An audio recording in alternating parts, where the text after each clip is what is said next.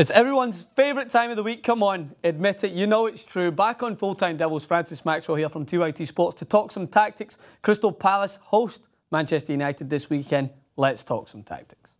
So here's the lineup. I expect Manchester United to basically face up against Crystal Palace. I do have a couple of points which I would like to reiterate to Louis Van Gaal, and hopefully, if we shout it loud enough, he will hear this that Martial should be up top.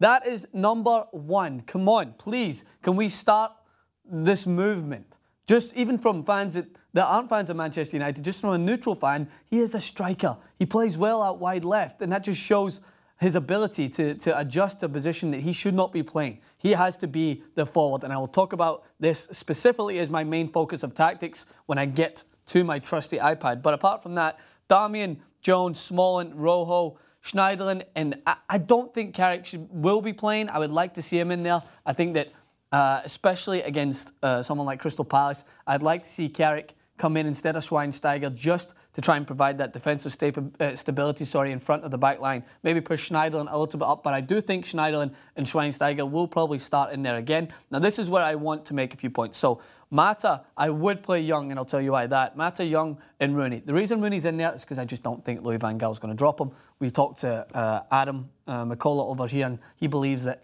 Louis Van Gaal needs to give Rooney that kick up the arse he needs.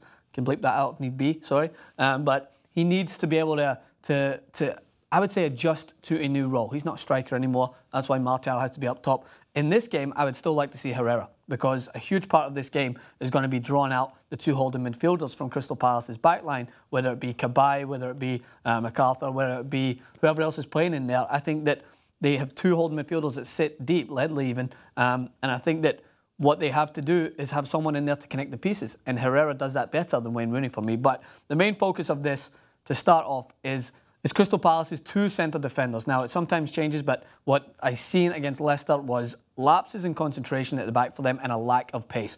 Hangeland usually plays centre back, so that is the forefront of this tactical video. Play Martial. He has so much pace, and what he can do is what happens with Crystal Palace, right? If they drop deep, they become, I would say, uh, they're not aligned as they should be. So when they drop deep, what happens is Hangeland likes to try and step up to the man. And if, he, if Martial can push Crystal Palace into their own box like Manchester City did, where you'll see the goals there from the Capital One Cup, they basically had their uh, chances inside the box to choose whoever they wanted to pass to because Crystal Palace, when forced into their own box, don't know how to defend as well as they were doing at the start of the season. They have lost three games on the trot and conceded a lot of goals because they become dis- in disarray at the back. They become, uh, I, I would say, misadjusted in their back four. Their fullbacks often sit back because they don't have the support when they play uh, attacking midfielders out in the wide areas as they do. That's a, where a lot of Crystal Palace's attacking threat comes from. This leaves them isolated in the fullback area, so the only thing they do naturally is drop deep. And they drop deep, and what happens is Hangeland tries to step onto the man, and it creates this seam in here where you see Manchester City exploiting. You see Leicester, when uh, what happened uh, in Leicester's example is Vardy got onto the uh, basically onto a through pass and burst through far too fast for the two centre backs. What Martial does is he pushes the back line as a whole. Watch the games he plays at the back. Defenders become scared of his pace. They drop all the way into their own box, and it creates a massive gap in here where I would like Herrera to be able to pick up the pass in there. If Wayne Rooney plays in there, that's what he has to be focused on. Not focusing on trying to uh, run his socks off, which I know many people think that makes up for his lack of contribution to the game. I, I know he's going to work hard, but he has to be that linking piece between Martial and someone like Schweinsteiger or uh, Schneiderlin who gets the ball, try and say Schweinsteiger and Schneiderlin 10 times in a row, it's pretty hard, gets the ball into their feet. And it's that direct pass that I talked about, which United did so well against Everton, that has to come back against Crystal Palace because what will happen is Hangeland either will step to try and mark Martial, and that would be perfect if they can go one on one with him,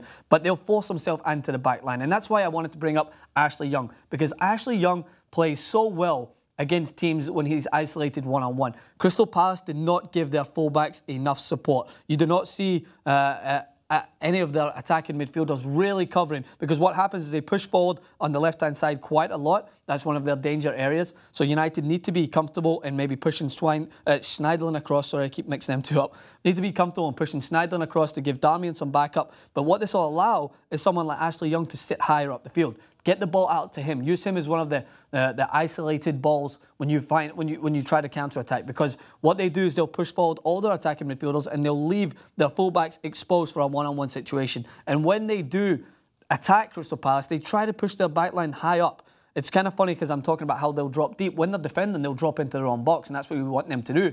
But when they're attacking, as you've seen against Leicester, they'll try and push high up and they'll try and knock the ball around the back four. That is a perfect chance for Manchester United to counter attack them and basically use the pace to get in behind in this area and take their defenders one on one. So the key to that is play Martial on the last man, push them deep, allow Hangeland basically to, to, to try and man, man, mark him, and it's basically just going to be a foot race between him and Hangeland, and I take Martial every time. So uh, the, the bottom line is they're there for the taking. I know the tactics jumped around a little bit, but that's what I'm here to do, is to say the things that I think has to be said. And some of them you may agree with, some of you may disagree with, but I think everyone can stand by this point. Let's knock on Louis van Gaal's door. Martial has to play up top. Agree or disagree? Let us know in the comment section below. Come over to TYT Sports, subscribe for plenty more tactics talk and football talk from around the world. And as always, thanks again for having me on.